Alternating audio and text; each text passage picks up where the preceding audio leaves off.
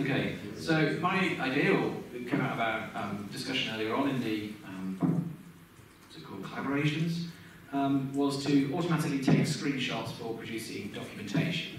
So should the code change, you can automatically reproduce all your screenshots instead of having to manually go through and update them all if you've got documentation that involves having screenshots. I was looking for three years for that. I'm going to be your first user. I did do some Googling earlier, and there is something that half does this, but I don't think it's being fully solved, and there, is still work to be done.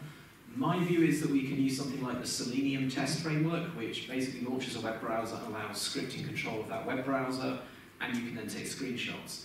I don't have a solution in mind for doing this for non-web apps, but if anyone does, I'd be very interested to hear about it.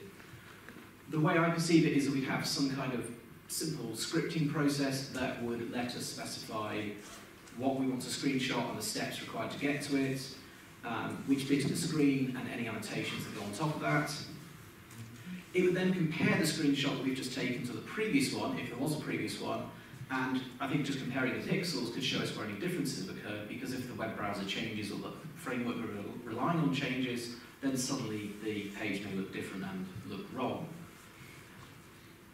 I'm fairly platform agnostic as to how is implemented. My default choice is probably to write something in Python, but I'm open to suggestions. I, I mentioned Selenium, but I know there are other frameworks out there that do something similar.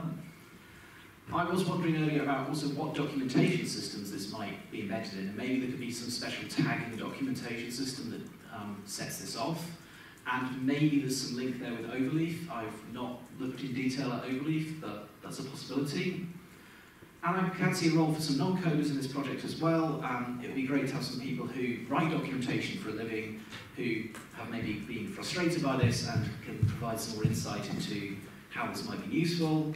And also there's the documentation and the testing and everything else that's non-coding for our own project. It'd be great to have a couple of non-coders as well as some people who know how to code on this.